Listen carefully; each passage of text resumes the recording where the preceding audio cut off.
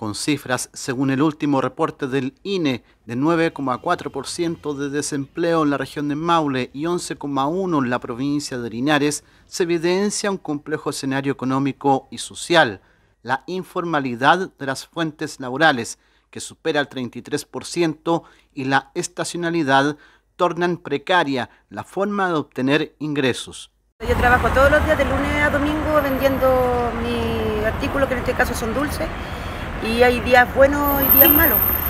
Y mm, de repente trabajo así, pero ya en diciembre trabajo para los huertos, porque se atrasaban un poquito, así que ya en diciembre si yo quiero trabajar en el huerto de los arándanos. El Observatorio Laboral de Sense en la región de Maule, en conjunto con la Universidad Católica de Maule, analiza y entrega diagnósticos sobre este panorama para adoptar o sugerir medidas la tasa de ocupación llegó a un 51,9%.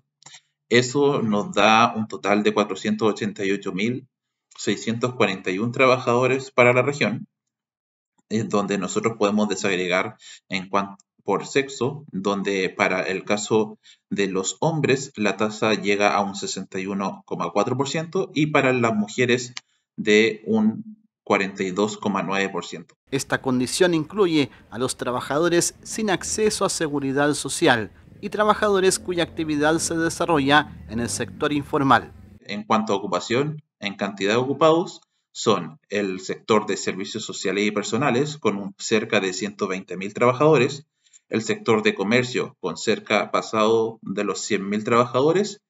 y el sector silvoagropecuario y pesca con un total aproximado de 78.000 trabajadores. Como para tomar en cuenta, según el último análisis del Observatorio Laboral, el 48,1% de los adultos mayores tiene una ocupación informal y el 38,7% de jóvenes.